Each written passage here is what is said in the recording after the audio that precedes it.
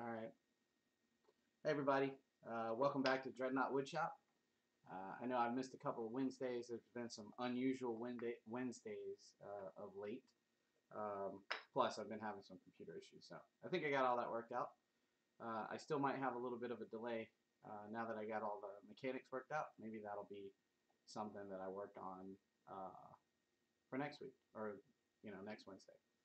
Anyway, um, I'm going to be, today, I'm going to be making a baby rattle. Let me go grab one.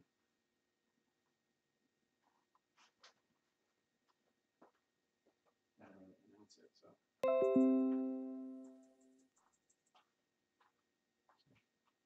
Yeah, I'm going to be making a baby rattle, like I said. Um, I had a friend that was uh, interested in having a handmade baby rattle made for her. And so I went ahead and whipped this thing up and I'm using rice uh, for the rattle. Now this one was the first attempt and it had a little bit of a crack right there on the front of it. Uh, let's see if I can get that to show up. Had a little crack right there um, and I didn't realize it until you know I was too far along in the process so I just decided to go ahead and complete it and see if maybe uh, I could work out um, I could work out the issues that I was having on uh, you know, a practice piece. So anyway, I figured it all out. So uh, today, I should be able to turn this with no problem for you guys. So anyway, the materials that we're going to use today, I got a block, I got a blank of maple here. Um, I'm figuring it's probably two by two ish um, square. And then this little piece right here is about one and a quarter square. Uh, this is going to be the handle. Um, now, I did do some research, and apparently it suggested that a baby rattle is uh, has a diameter of about two inches uh, to keep from being a choke hazard. Um, I'm no expert, so I don't know. But, uh, you know, if uh, I would definitely, if you were making this for, you know, a friend or a family member or whatever, I would definitely look into that. So I'm not going to try to give any official opinions one way or the other, but anyway, I'm going to go ahead and uh, get this mounted on the lathe and we're going to start uh, turning this out. This is a good project because this actually has a little bit of uh, it's a little bit of spindle turning and a little bit of hollowing. So we get to do all those cool things. And I'm actually going to be using, where did I put that thing? I'm actually going to be using some tools that I've never used before on the, well, at least not uh, on a live. These are some really cool uh, small hollowing tools from Hunter Tools. Um, I made the handles, um, but this is the, uh, the little swan neck hollowing tool, and this is the straight one. And um, I'm going to try to show it on the other camera, but these use very small uh, cup cutters, and I really like them. Uh, they do take a little bit of getting used to. Um, cup cutters can be a little grabby. Um, they can be a little grabby if you don't present them right. So, you know, you just got to get used to it. But once you get used to it, they work really well. And these go into a very small opening, which is also super nice.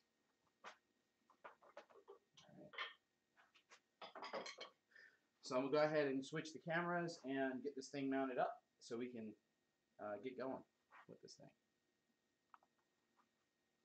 Okay.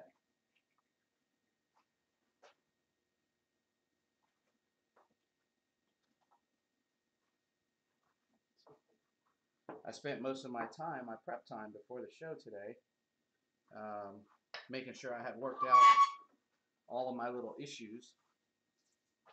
Um, making sure that I had worked out all my little issues with uh, the camera setup. So I didn't spend much time getting the prep work done, like marking centers on these blanks and things. So we'll just do that real quick right here on camera. Uh, just using a little uh, quick center finding jig, center finding tool here to uh, mark out center. I had quite a few people ask about um, a video for these baby rattles. And I was going to, I was originally going to Um, originally, I was going to do a regular video, but I thought, eh, why not just do a live on it? So here we are. So I'm going to mount this up using uh, 50 millimeter jaws.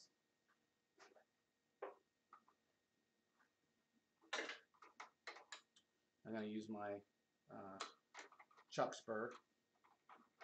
Alright, just so that when I'm done rounding the cylinder out and putting tenons on it, I'll already have the chuck loaded up.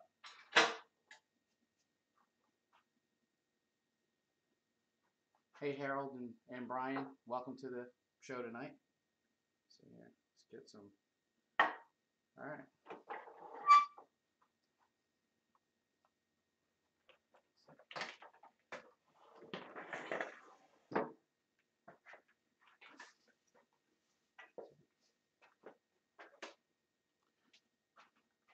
One of the problems that I've had doing the lives that you probably uh, wouldn't be aware of is I didn't have anywhere to put my laptop.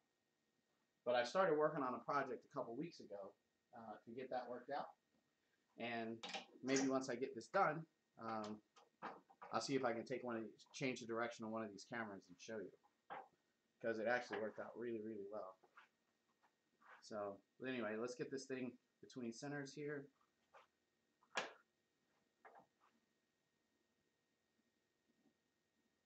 Alright.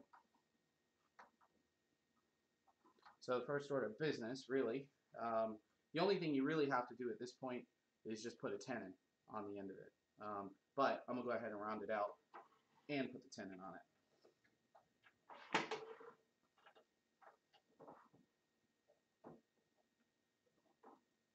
Okay. Sure you got clearance on the rest. Get my face shield.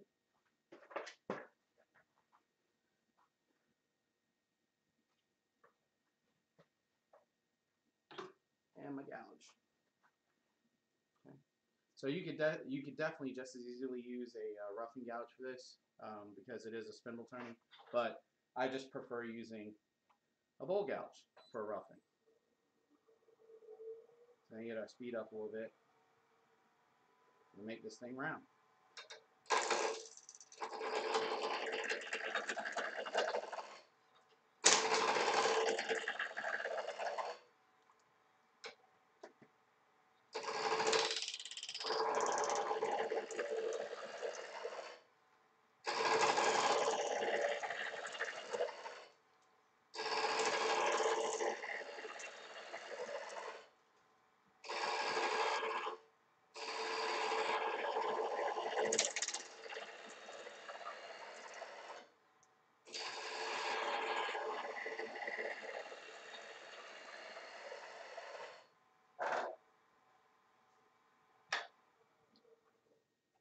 Using the bowl gouge in that way can be, the first few passes are going to be pretty rough. Uh, but using a roughing gouge would be, those first few passes would be pretty rough anyway. But the difference is, when I'm finished, once I get it round, I get a much better cut, even from my uh, roughing cut.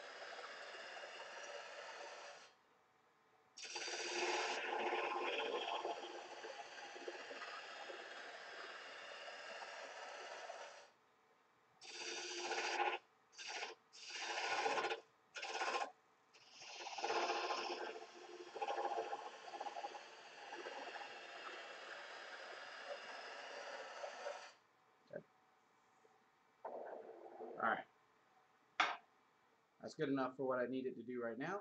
So the next thing I got to do is put a tenon on, I just need to put a tenon on this side so I can get it mounted in the chuck. Because we're going to do most of our work uh, from this other side over here.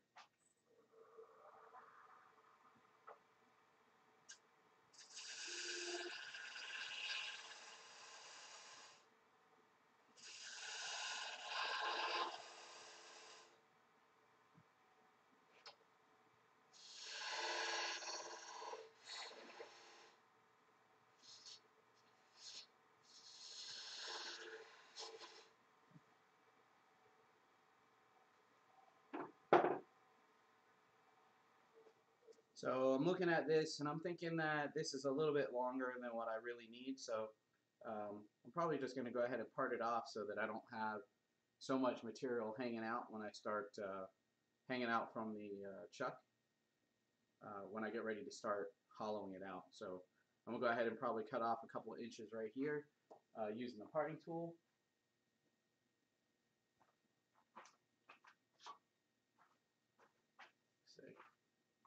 If I'm using this one as an example, that'll leave me with plenty of, probably about right there, leave me with plenty of room.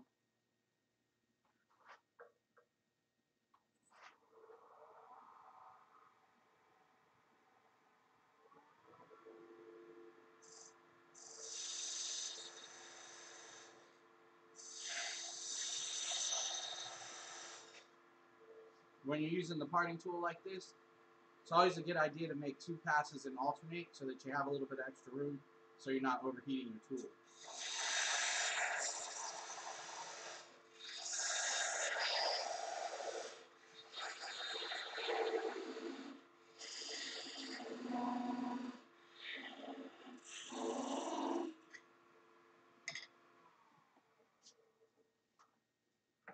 Twist that off.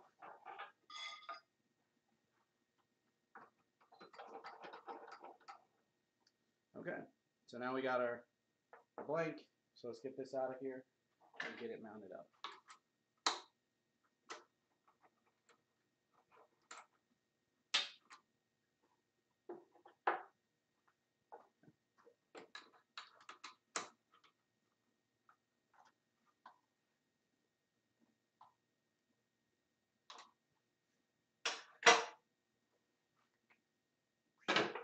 Put that in the scrap bin. So now, let's get this tailstock out of the way.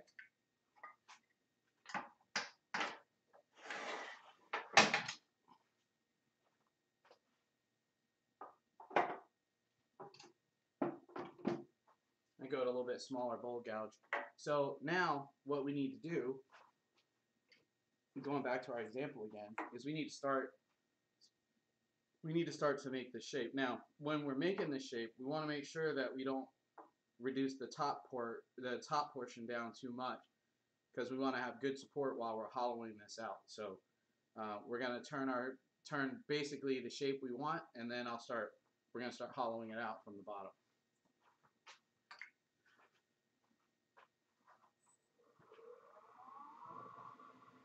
Now it's a baby rattle, so there's not really any real uh, hard, fast rules about what it could look, what it should look like, or anything like that. You can really just kind of make whatever shape you really want.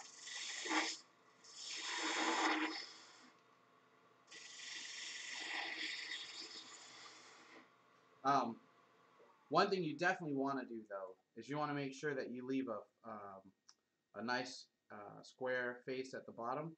We're going to go back and trim this up, but you want to make sure that that uh, face is square, and you also want to make sure. Where's my handle piece? You also want to make sure that it's smaller than your handle piece, um, which will make it a lot easier for you to blend these two together.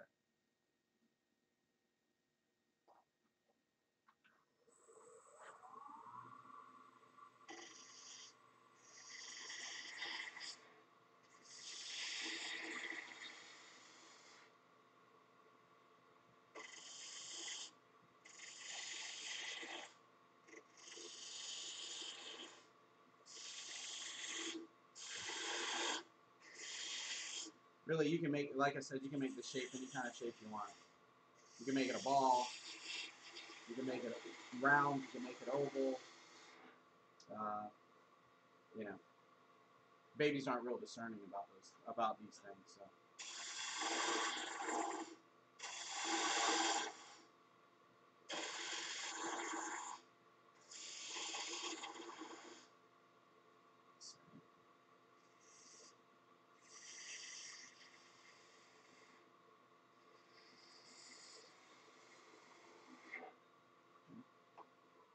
So Looking at this. Mm. Yeah, I kind of like it. So then the next thing I'm going to do is I'm going to check and see how big, exactly how big this piece is. I'm going to measure that with a ruler. so I can get an idea for how big of a um, how big of a hole I can put in the bottom of this thing to hollow out, um, as well as um, what size I need to, you know, how much material to leave on the shoulder to make sure that this will seat properly against it. So it looks like we got about an inch and a quarter here. So I'm probably going to go with a three quarter inch hole on the end of this. Um, so I'll go ahead and drill that hole now. And uh, then I'll work this shoulder down a little bit more uh, and get it closer to the three quarters. And then I'll start hollowing it out.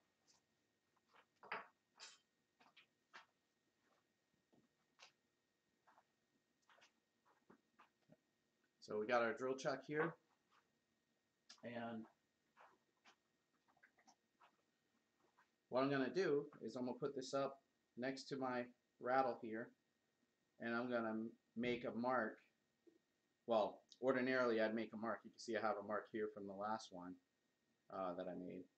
But I would make a mark to denote how deep I'm going to drill this hole. So since I'm going to want to round this out anyway, I know that I'm going to be cutting uh, once I go to part this off and finalize the shape, I'll be cutting just a little bit south of that. So this is good. And it just so happens that when I bottom out the, uh, the top face of this drill chuck, I'll be just about at the right depth. So that works out pretty good.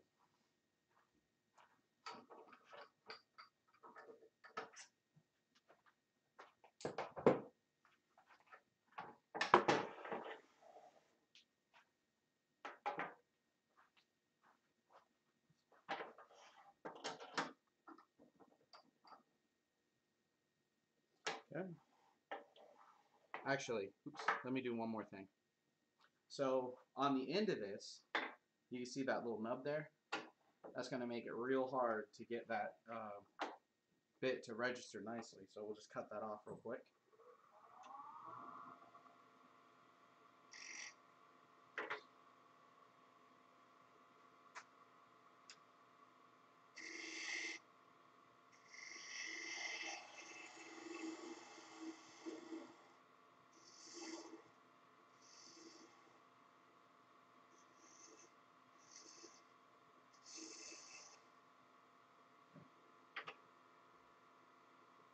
Alright, crank the speed down a bit. And then we'll go ahead and drill our hole.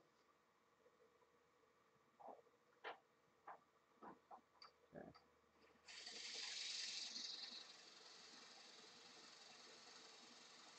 Whenever you're drilling a hole, a deep hole on the lathe, you gotta make sure you take time and clean out the hole as you go. Some of the material, some woods will really pack up behind the bit, and you'll have a real hard time getting it getting it out of there later. Plus, you'll be creating heat, which is an effect will dull the bit.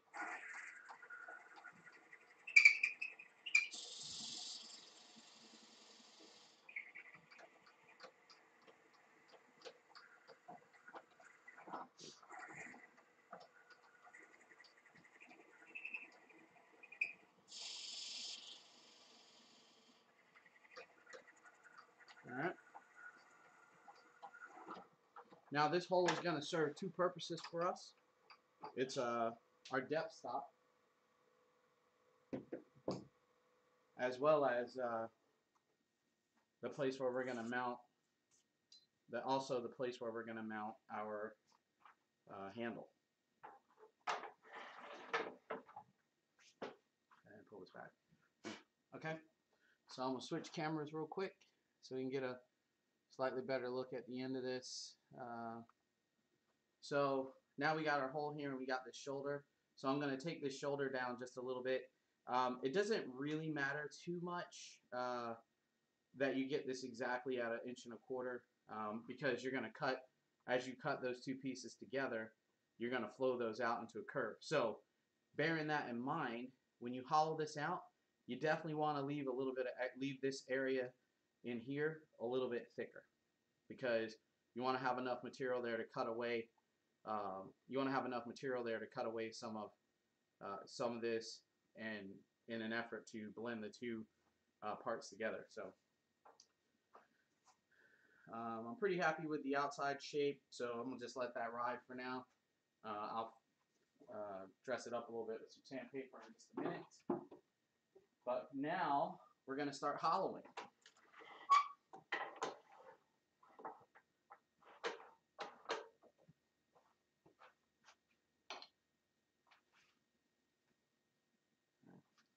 I'm going to start out with the uh, swan, the hook tool. Switch over here so I can talk about it a little bit. So these tools are from Hunter, like I said, and they have very, very small, um, have very small cup cutters on them. You can see based on the size of, compared to my fingernail, it's really, really very small. Um, and like I said, these cup cutters, right? You have to present them at a little bit of an angle, um, and then otherwise they can be a bit grabby. If you put it in flat like you do with a traditional um, carbide tool, it's going to grab a little bit. So you're going to want to turn that down just a little bit uh, and, and introduce a little bit of an angle uh, when you're cutting with them. So I'm going to get this set up here. I'm going to set it up basically uh, on center. And like I said, I'm going to rotate it just a little bit while I'm cutting. Uh, the other thing is anytime you use one of these tools with a hook neck or a swan neck, uh, whatever that particular manufacturer may call it, you want to make sure that you keep uh, the area with the swan neck out over the rest. You don't want to turn like this because uh, leverage won't be on your side. You want to make sure that the straight, the straight portion of the shank is on the tool rest. Um, Harold asked what lathe speed I was using for uh, drilling the uh, end grain. So I normally get down around uh, between 7 and 900 RPM. That seemed to work out pretty good. Alright, so we're ready to start hollowing this thing out. And get our speed back up a little bit. I found that for the hollowing, uh, going a little bit slower uh, doesn't hurt. So I'm going to go ahead and brace up, and in we go.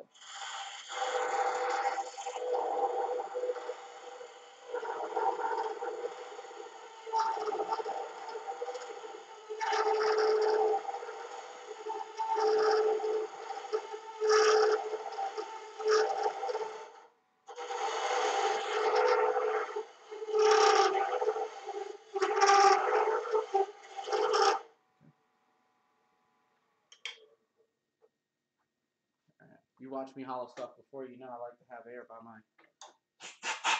air right here by the lathe. It's really handy for blowing all those chips out of there. It'll make uh, your hollowing job much easier. So I've left a good amount of material right here on the shoulder.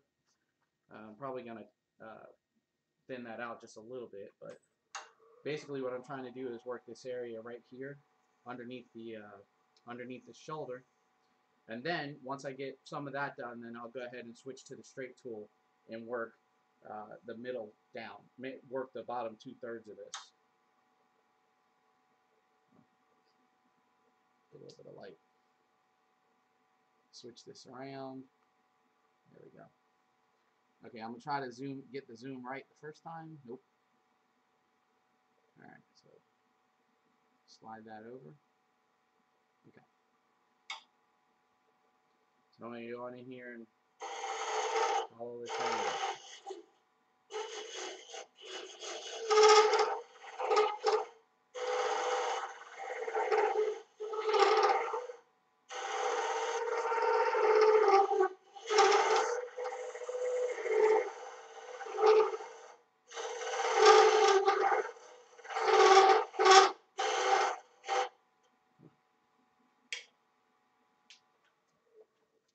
blow out a little bit of that dust there. I gotta tell you that I use uh, most of my hollowing tools are uh, some sort of carbide or insert type tool. Uh, I gotta tell you that these are the most, uh, these work faster. Um, in my experience with them, they work faster than any of the other tools I've tried.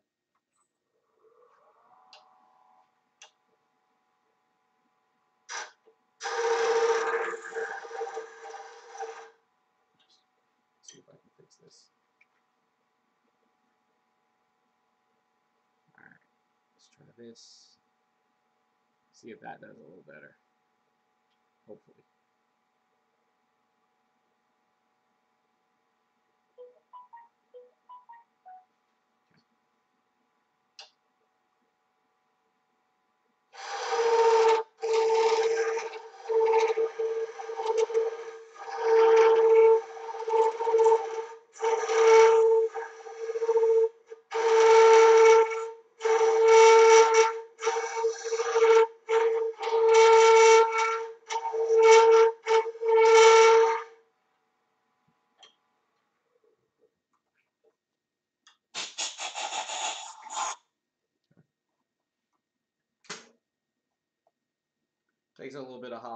It's hard to check it, you know, because I got big old fat fingers trying to get in that little that little opening.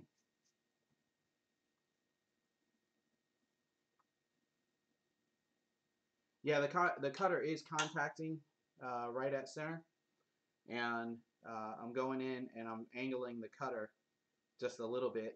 Uh, like I said, it's a little grabby if you go straight in like that, so you just angle it just a little bit. But other than that, it is cutting on center. So as you can see, angling it just a little bit.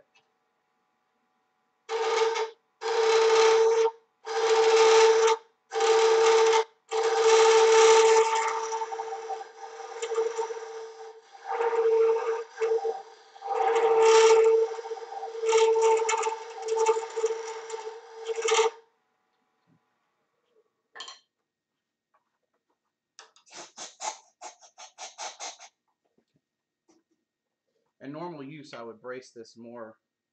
Um, I would brace this against my body a little bit tighter, um, but I'm trying to, you know, keep myself out of the out of the view of the camera here. So maybe I'll switch to this way, and I can get in a little closer.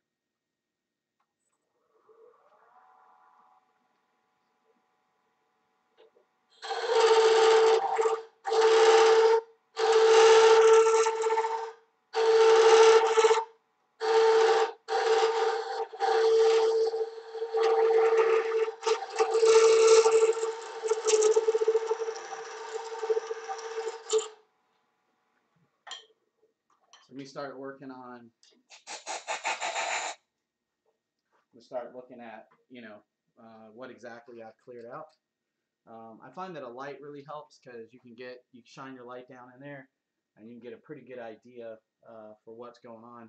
Sometimes you really just can't, um, you can't get into certain areas real well with your finger, so you can't see. But if you shine a little light in there, uh, a lot of times that'll uh, really help out. So yeah, I can kind of see where I need to go now.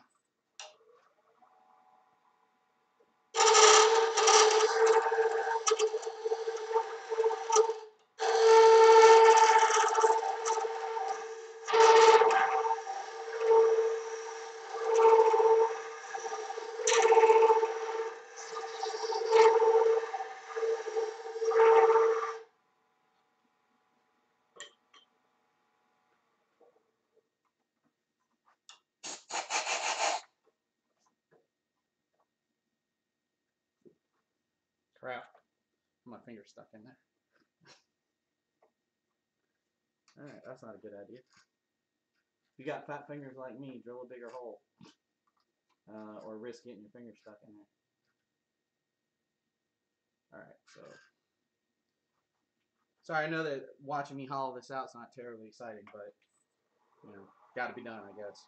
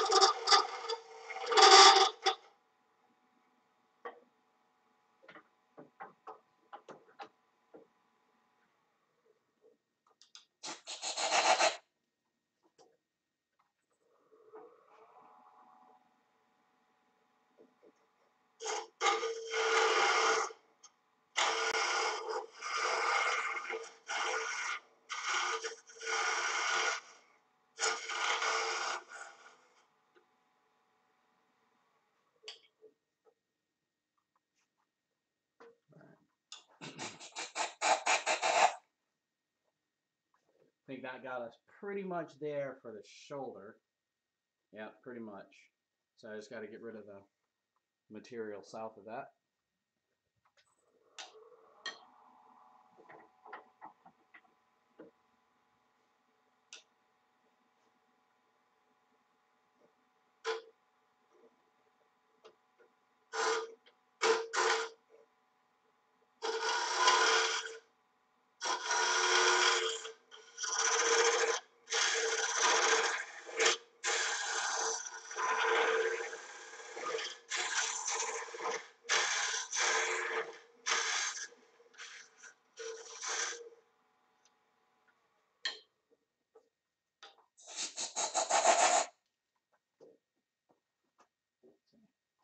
the thinner you make these walls, the better your rattle's going to sound.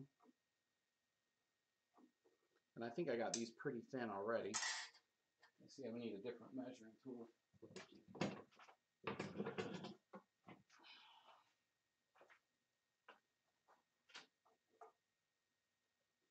Yeah, we're doing pretty good.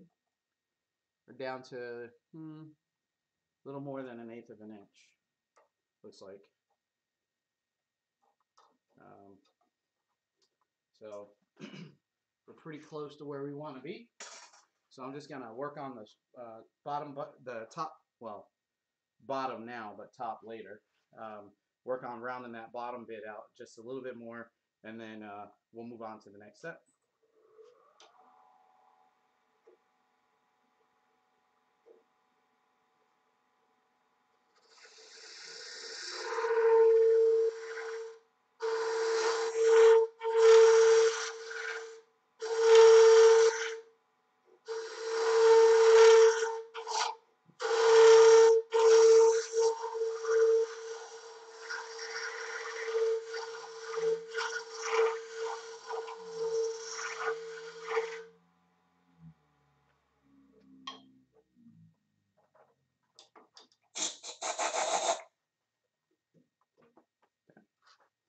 Take a look down in there, see what we got. Looks good. Check one more time. Yeah, we're doing pretty good.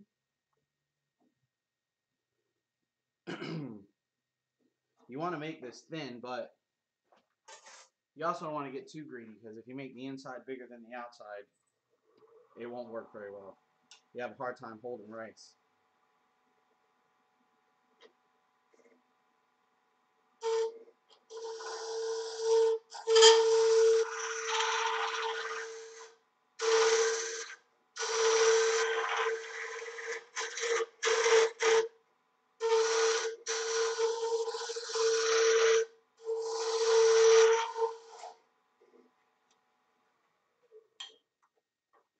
Take a look.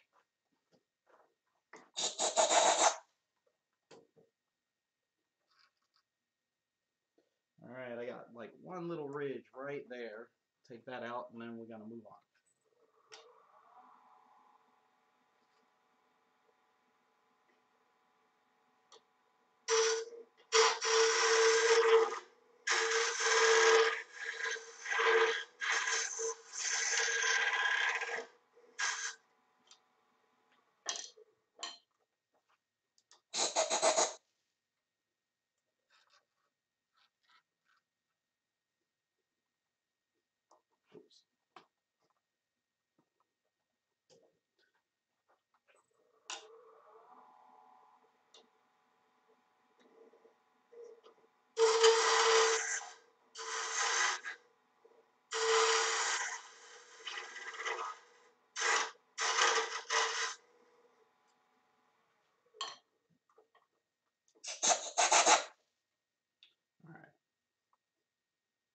Okay, we're good. So now, uh, I'm going to go ahead and I'm going to go ahead and start working on the handle. So the first thing we need to do is we're going to have to mount this in the chuck and we're going to have to get it down to um, three quarters. Now, um, I have a uh, I have an extra chuck, so I'm going to just use another one. But in the case that you don't have an extra chuck, then probably the better bet would be to start off by putting this on, mounting this between centers, mounting your handle between centers, and turning that three quarter inch tenon on the end of it first. And so then when you get to this point, you can just uh, go ahead and stick it, go ahead and attach the two together. So actually, one more thing. Let me uh, go back and spend a little time getting this face flat.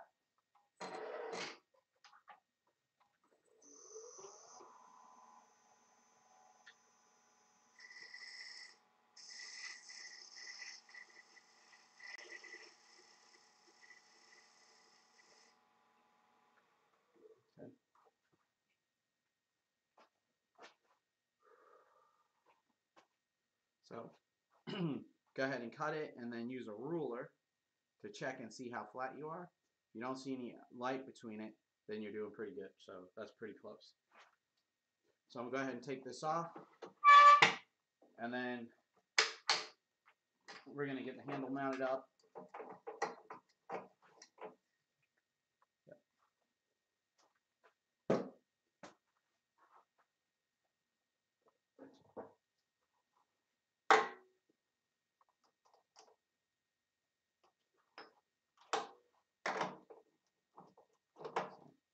I think you can get, I'm pretty sure that you can mount an inch and a quarter stock in standard 50 millimeter jaws, just barely. Yep. So what you do is put the corners between the jaws. Check and see how square my cut was. Not very. Uh, yeah, let me go and uh, I'm gonna go over to the bandsaw, cut this off square because I want it to mount in there and stick straight out where because it's not quite square it's sitting in kind of like cocksided. So I'm gonna go ahead and make that a square cut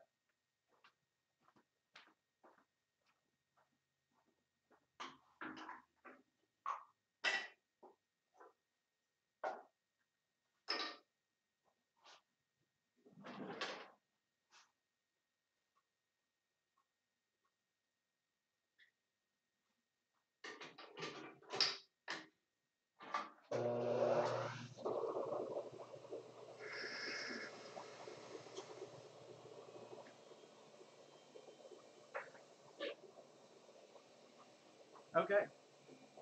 So now that we got a nice square cut on the end of this, we can drop that in, bottom it out, and you can see, um, you can see right here where we're able to clamp down securely on this uh, inch and a quarter blank. So it's running a little more, well, not quite true, but true enough. And then we're going to go ahead and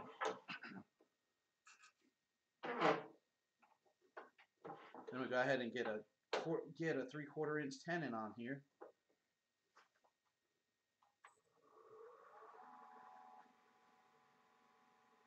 So I'll take the corners off.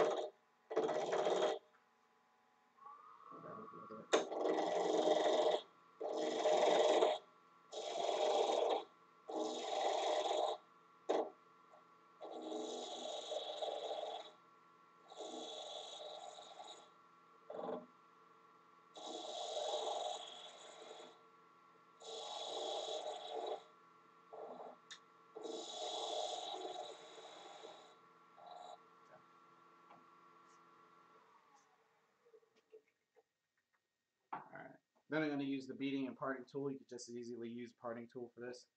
And uh, we're going to use some calipers. I'm going to use some calipers to measure. This on the back side there. So we're going to use our calipers to measure that opening right here. And then we're going to use that to get our tenon just right.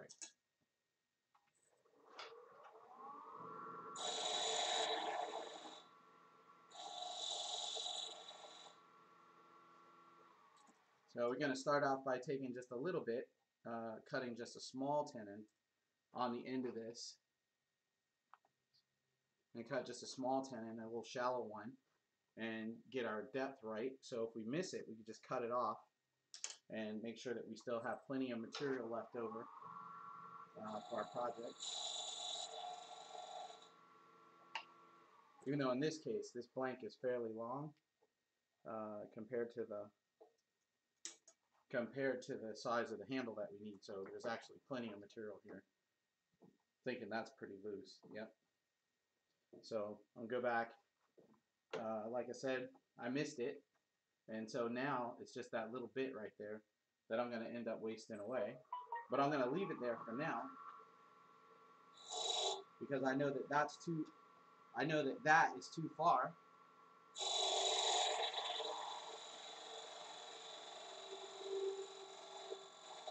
Bring it down to not quite that, that low.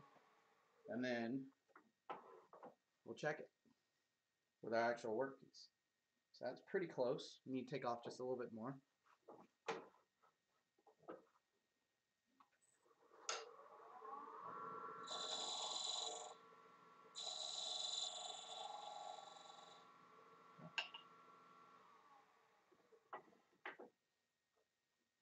Probably going to want a little bit longer tenon once we get the sizing right. So I'll go ahead and extend that just a little bit now.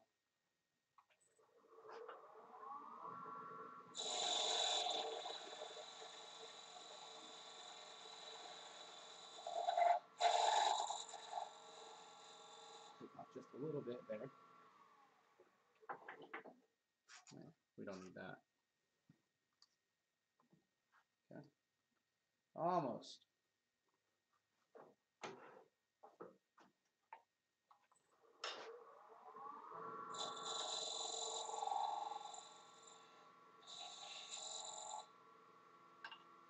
And I do want a pretty good fit there. Um, for one thing, I like, you know, when my fit parts fit together nicely, but uh, the other thing is I'm going to glue this and I'm going to immediately start turning the handle. So um, I want to make sure that I have as good a fit, as tight a fit as I can get. That'll still allow the glue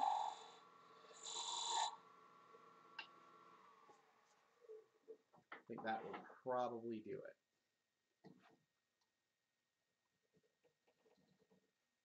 Okay, perfect. So now we got this, now we have our tenon in here. So what we're going to do is we're going to take this out of the chuck and put our, um, put the top part back. And before I got to do that, I got to put some rice in it.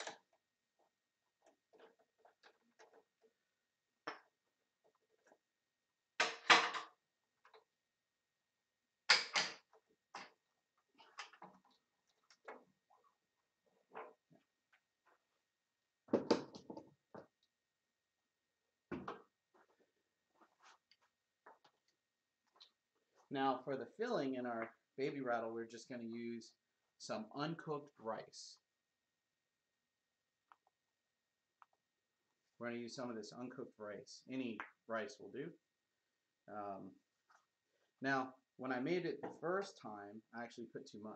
I actually put too much rice in there. And it didn't rattle as much. So a little bit goes a long way here, guys. So I just grab a little pinch there, put my hand around it to kind of funnel it in. Right. Just a little bit more. Not real science here. Sounds good. So I'll go ahead and put this back on the lathe.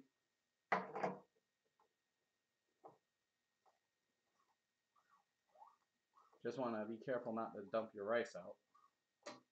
It shouldn't because you know it's hollow in the uh, it's hollowed around that corner, so you shouldn't have too much trouble keeping it in there, but just in case. And then we're going to need some CA glue that I left over there.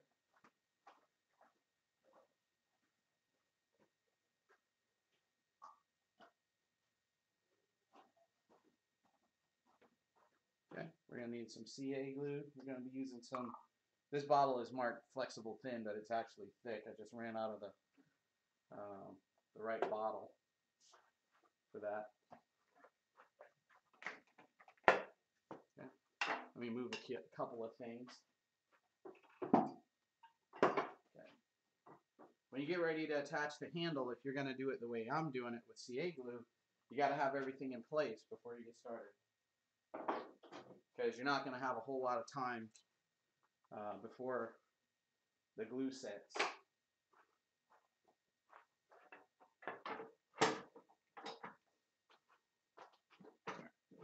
Tailstock moved over here.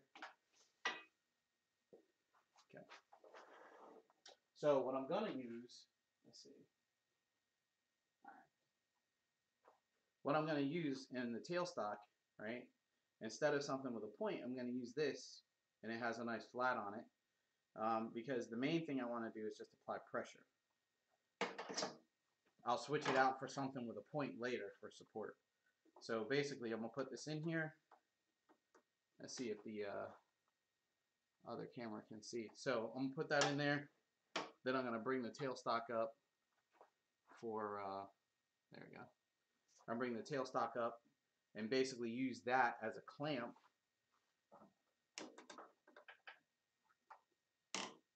There we go. Okay, so I'm doing my test fit now to make sure that it will seat flat against the bottom of the, uh, so that it'll seat flat against the bottom of the, the head of the rattle, which we're in good shape there. So now I can pull this apart, put some glue in there, and uh, there you go. So what I'm actually going to do is I'm going to put some glue um, inside, just inside this uh, mortise. I don't want to get any glue inside, you know, and glue the rice, you know, glue too much of the rice down. So I'm just going to apply it right here. Not going crazy, just enough to hold this together. And then I'm even going to put just a hair, just a little bit around the shoulder here. Okay. And then I'm going to take some activator, take some activator, and uh, I'm going to spray the tenon portion with activator in an effort to get it to set quickly. Get my tailstock ready. Then I'm going to put this thing together. Okay. Then I'm going to use my tailstock for support. And I'm going to look and make sure that I got a good tight seal all the way around. Alright, Give that a few seconds uh, to set up. And I'm going to hit it with a little bit more activator. Okay. See how we're doing on time. Eh, not too bad. Alright, so we got our two pieces married together. See if there's any questions. Uh, let's see, what type of baby rattle are you making? Uh, Melinda asked what type of baby rattle I'm making. I'm making the, uh, I had an example. This type of baby rattle here. Kind of like a maraca, I guess. Um, let's see.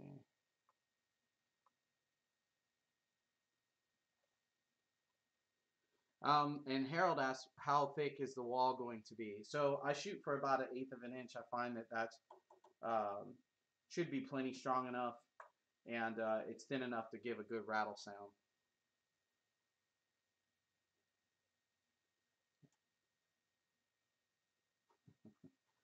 All right. So now I think we're good.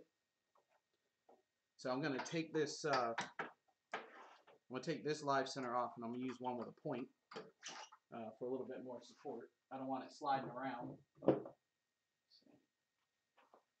I don't want it sliding around as I cut, so we're going to go with something with a little bit more bite to hold it for cutting. Okay. All right. And we can hear the rice in there, so we know that we didn't glue all the rice down. That's good. And now we get to just, now the fun part, we get to go ahead and shape this thing out. So first order of business is to blend this corner to the uh, stem. So grab my little bowl gouge here.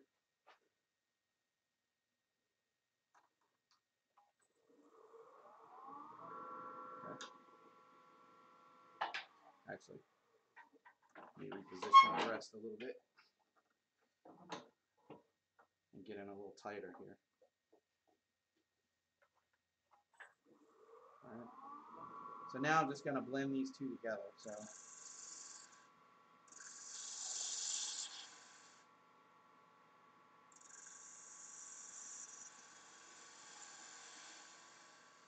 Remember, I said you have to leave um, you have to leave this area a little thicker because as you can see, I'm taking off a good amount um, in order to blend it down uh, to the handle. So um, I think we're in pretty, we should be in pretty good shape. I left quite a bit there at the uh, I left quite a bit there at the join. So as long as you don't see rice flying out, we did all right. For now, cut these two strips down closer to each other. A little tap test. See if we're getting too thin.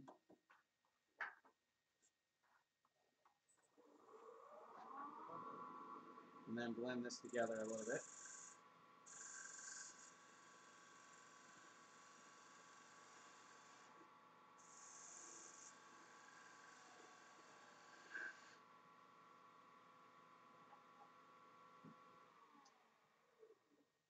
Perhaps not exactly the shape I was going for, but again, babies aren't real uh, discerning about these things. So it's all good. Let's get in a little closer so I can start working on the top. Then we'll get down and take care of the handle. So I hollowed it pretty much down to this point right here, down to the uh, down to the place where these two fast these two uh, beads meet. So I'm going to have to go a little bit north of that to make sure that I don't find the inside of this thing. So I go ahead and clear just a little bit more room. And then I'm going to start down here. Then continue the curve up. Right? And remove a little bit of that. Continue, continue, continue. Pick up that cut right there. Okay. Now to make some more room.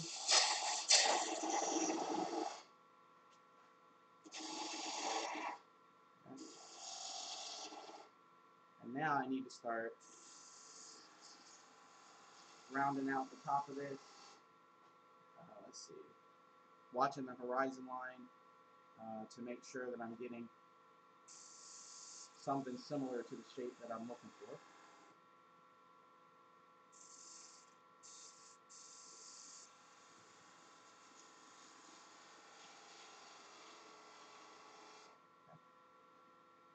All right.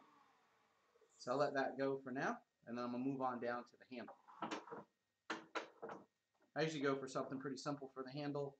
Um, you might be tempted to put a bunch of beads and coves in there, but that's just going to make it harder for mom or dad to keep this clean because there's going to be a lot of places for food and bacteria and dirt and grime uh, to hide. So I keep this, I'm going to keep this fairly simple.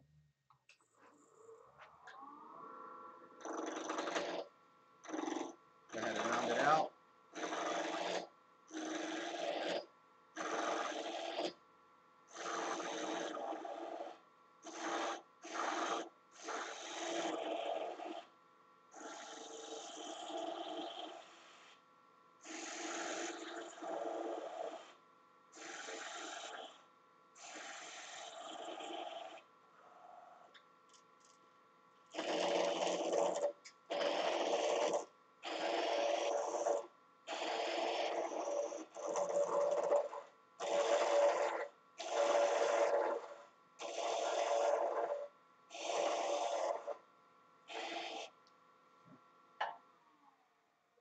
Obviously, I'm not going to use all this, but I'm just going to go ahead and uh, round it out anyway, just so I know how much material I got to work with.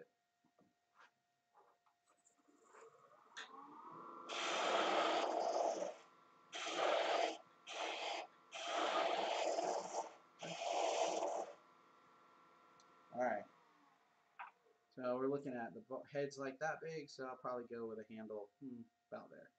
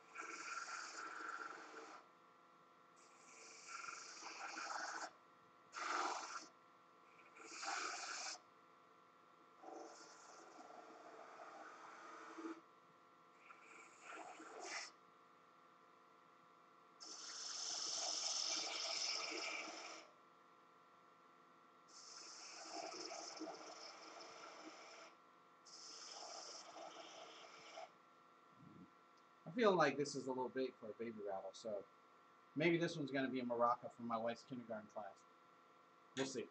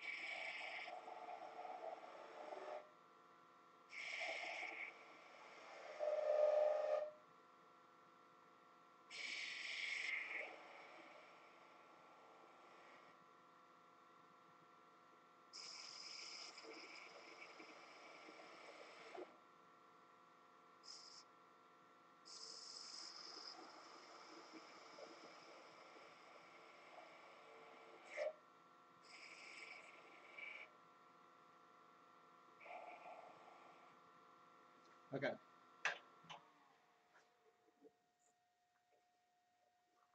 All right, so we're about there. So now I got to start working on um, taking off, working on um, parting this off. So I'm going to have to uh, work these transitions down to a much smaller size to make it easier to get it off, get it, you know, parted off the, off the uh, lathe. And I want to leave as small a knit, um, a little divot at the at the ends as possible, make it easy to sand off.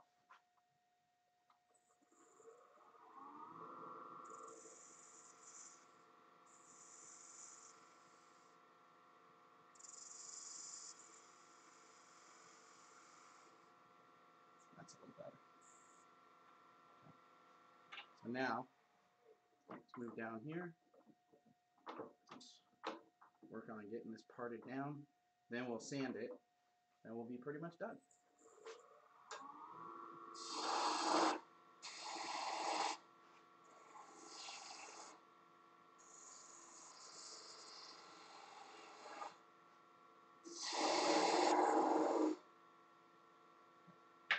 Now I need to uh, switch to a tool that I can get in tighter with, so I'm going to go to my detail gouge.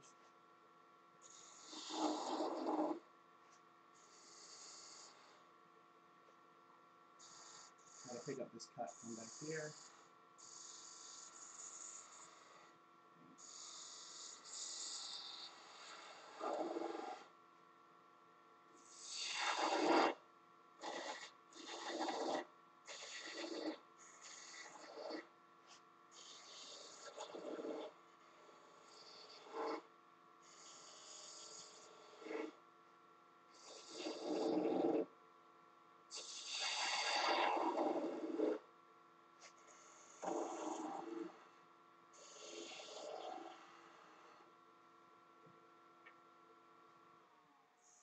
We're getting down closer to where we need to be. Uh, make a little bit more room and uh, we'll tighten that out. And then it looks like I need a little bit of work here too at the join. So, make just a little bit more room.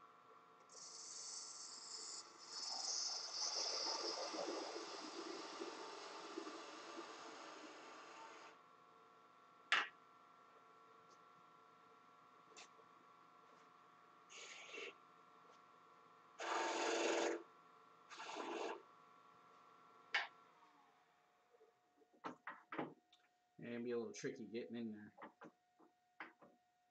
That right there ought to do.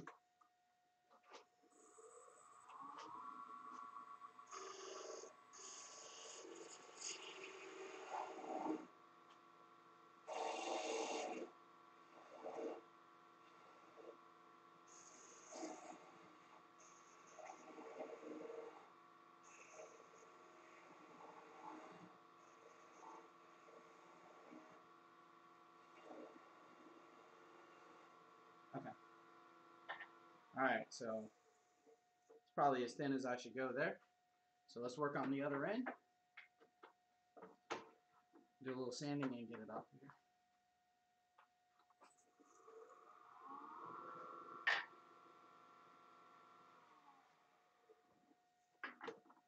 A little closer.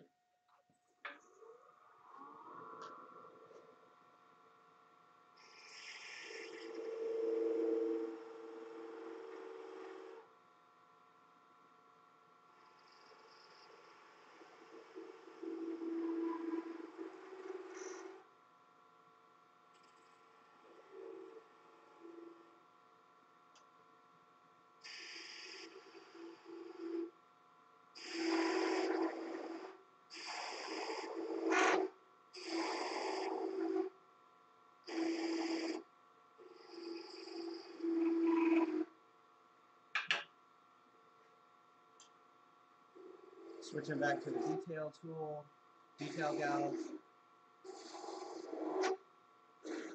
The trick is to get it small but still strong enough to hold up for the sanding uh, that I'm going to do next.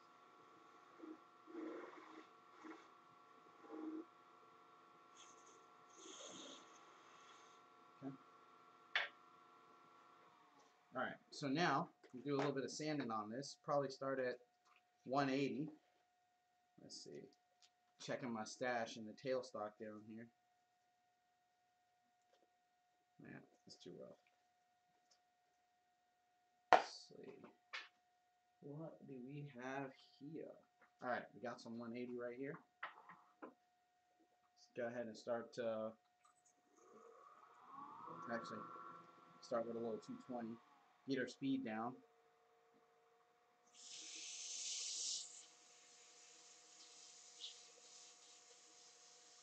Actually, a little better.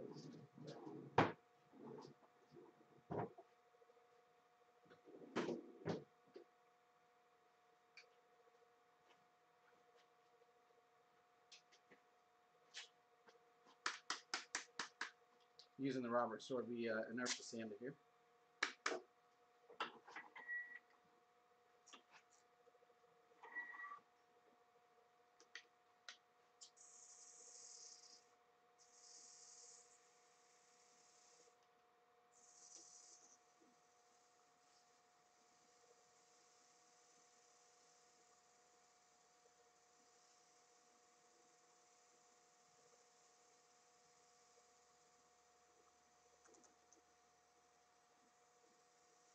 Go ahead and sand that.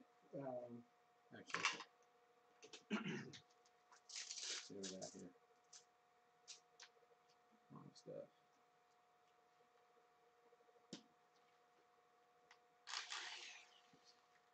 Since I'm running a little long, I go with the power sander.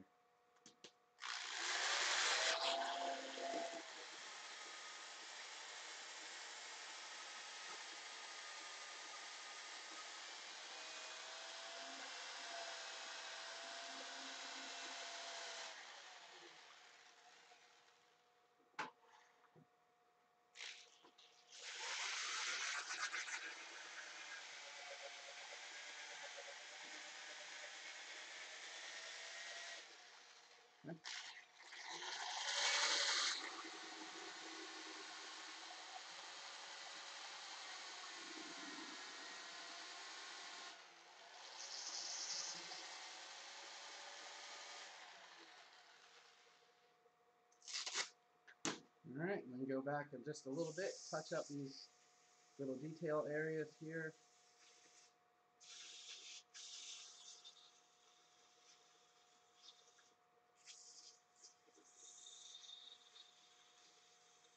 You don't apply too much pressure. Um, it's not held on there uh, with very much material, so I want to keep that in mind.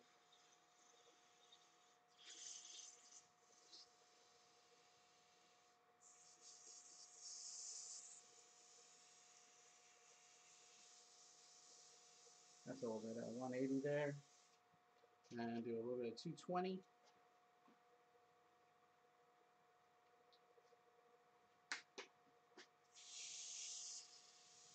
And that'll finish her up.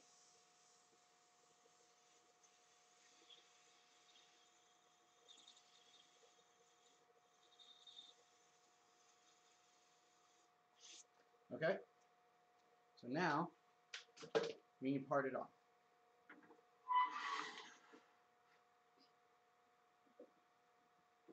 Pick up the speed a little bit. And I'm going to start to uh, make some of these final cuts here.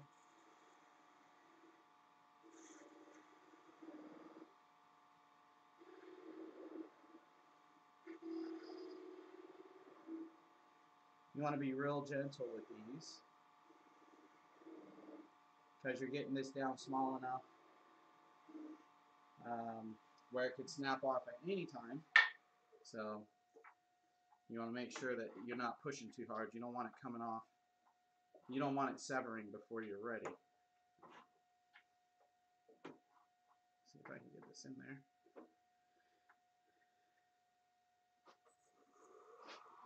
Okay.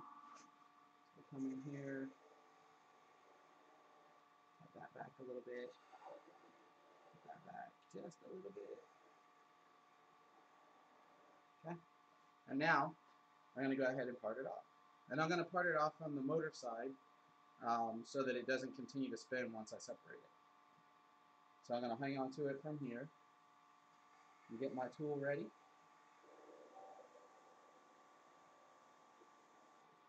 There we go.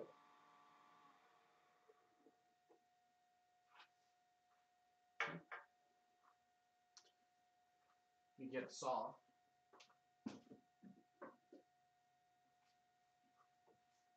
I would twist this end off, but I don't want to risk tearing the grain, so I'm just going to take a saw here and uh, make a couple of quick passes, and off it comes. Let's see if it works. Sounds good.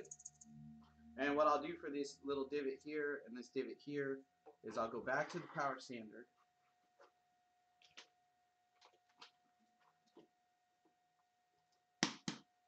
Go back to the power sander and gently just sand that off.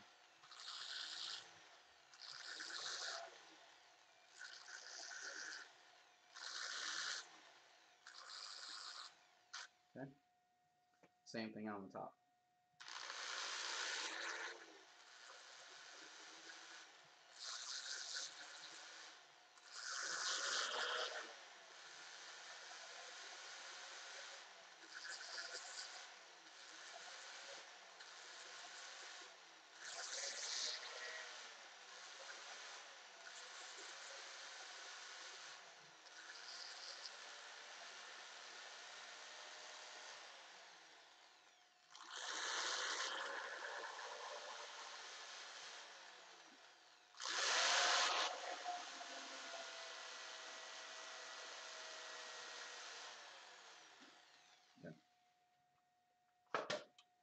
All right, so there we go. You go ahead and uh, switch back to this other camera. So there you go.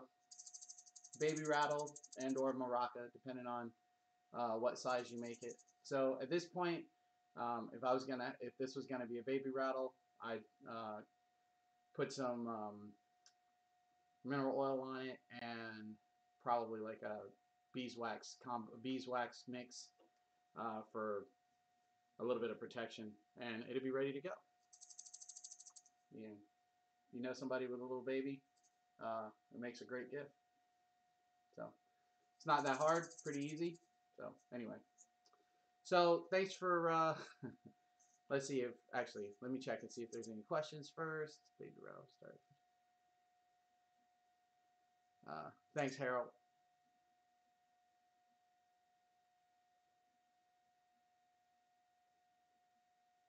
Okay. So I don't seem I don't have a lot of questions in there, so I'm gonna go ahead and uh, wrap it up since I'm a little bit over an hour now. But uh, anyway, that's the uh, finished project there. Um, you know, I encourage you all to go out and try it. It's um, it's pretty it's a pretty well it's a pretty easy project um, and it's pretty handy. I mean, you know, making a handmade uh, rattle for your favorite newborn. So anyway, uh, thank you guys for joining me in the shop. Uh, I know that I haven't had a Wednesday live. It's been a little sporadic the last couple of weeks, but let's face it, we had a couple of, of uh, historic Wednesdays of late. Uh, so I'm hoping that things will be more consistent going forward, and I look forward to seeing you guys next week. Um, I'm going to try to put, I'm to try to uh, make an announcement a little bit earlier, a little bit further out, maybe Sunday, um, about what the next topic is going to be. Um, I'm ending this one at an hour and 12 minutes. Uh, thank you for joining me. And uh, remember to get out in your shops, uh, make a mess, have some fun, dread not, and make something. Peace.